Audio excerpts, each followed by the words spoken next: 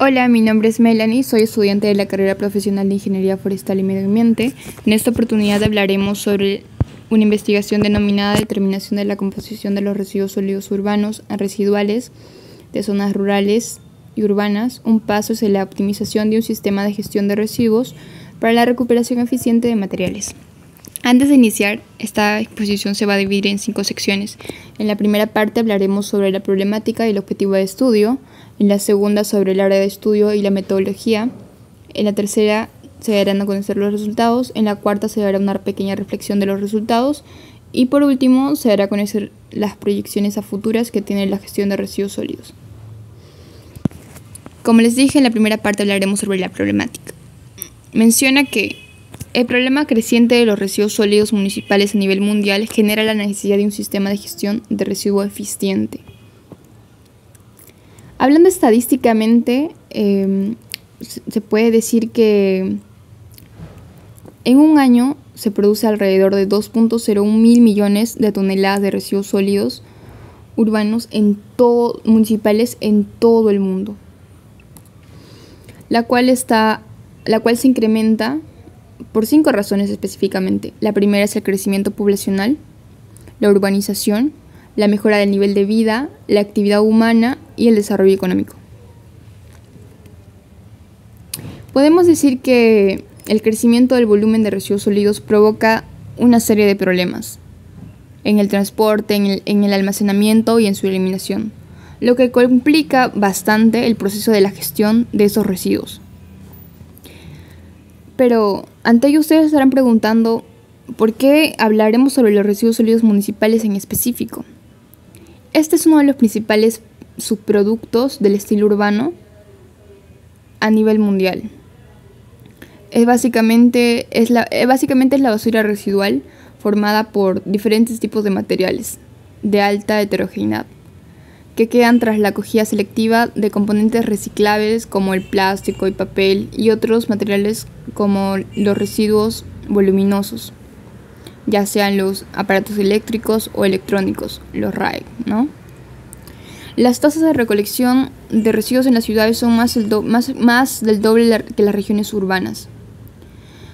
Es cierto, a pesar de que hay una creciente preocupación por la gestión de residuos sólidos a escala global, las áreas rurales, tanto en países industrializados como en los países de, de bajo desarrollo, no le prestan atención y consideración a estas áreas y es por ello que la composición de los residuos es muy diferente en base a zonas urbanas y rurales, especialmente en, eh, considerando el tipo de recuperación potencial que podrían tener estos. Ante ello, el, el objetivo de la investigación es la caracterización de la composición de los residuos sólidos municipales en áreas urbanas y rurales. El estudio se realizó en el Departamento de Salud Pública de la Universidad Federico II en Nápoles, Italia. Ante, para iniciar, el primer paso fue realizar una campaña de muestreo directa con el propósito de obtener muestras representativas de, los de, los diferentes, de las diferentes municipalidades en áreas urbanas y rurales. La campaña de muestreo se ha realizado una vez al mes. Los actores involucrados Dentro de este sistema de gestión de residuos fueron los hogares, las empresas de restauración, las tiendas y una organización de gestión de residuos sólidos.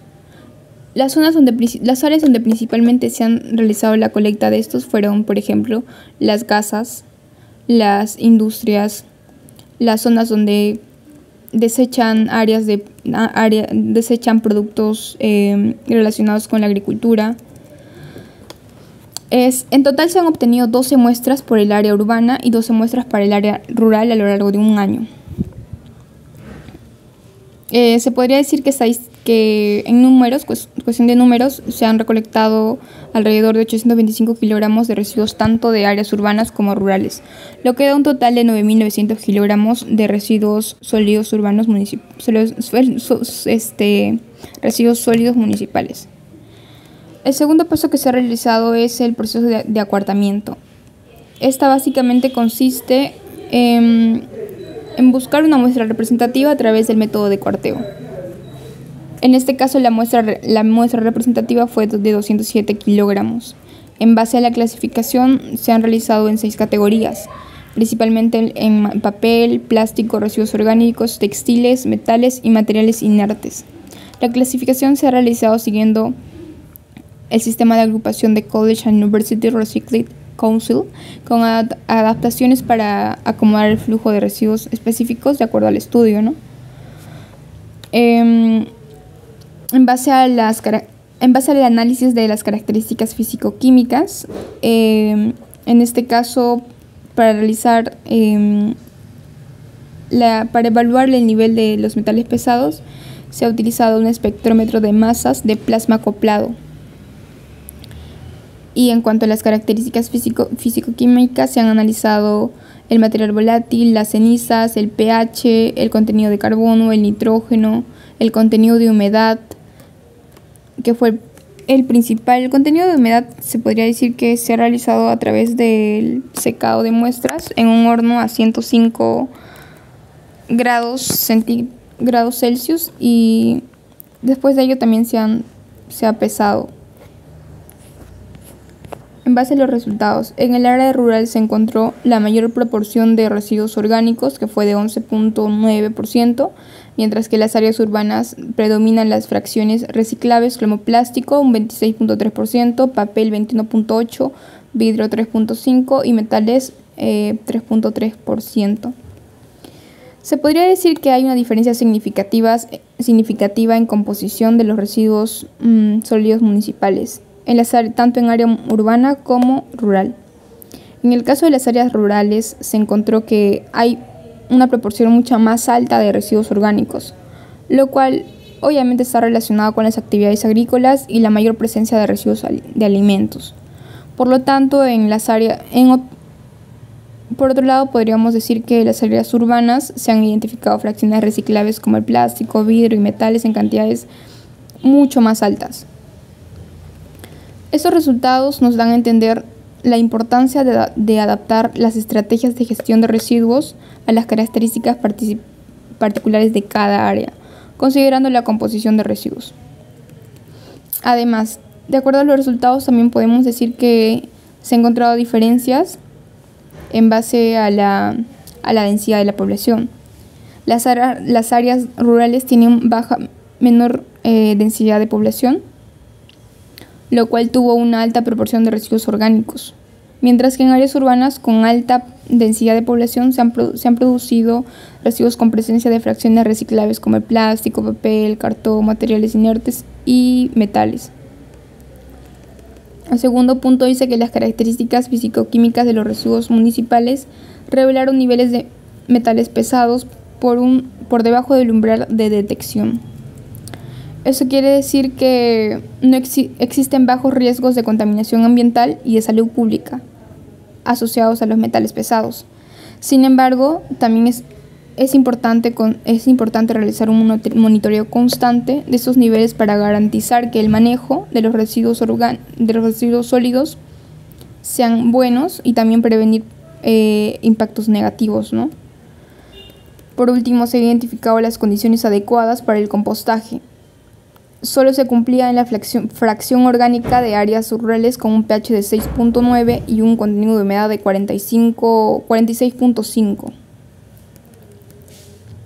Eso nos da a entender que existe una variabilidad de compostaje para la fracción orgánica proveniente del tipo de área. En este caso, la más, la más adaptable fue las áreas rurales, ¿no?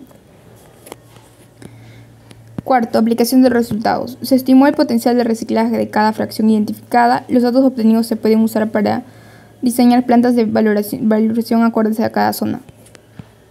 Quinto, se proyecta para el 2050 que se generarán alrededor de 0.34 millones de toneladas métricas de acuerdo a los residuos municipales.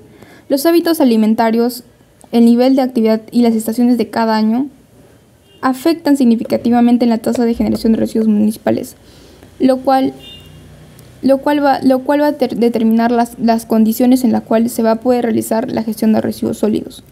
A mayor presencia de, de población, a mayor presencia de diferentes tipos de estilos de vida que se quiera tener, entonces la, la generación de residuos sólidos va a ser mucho más alta.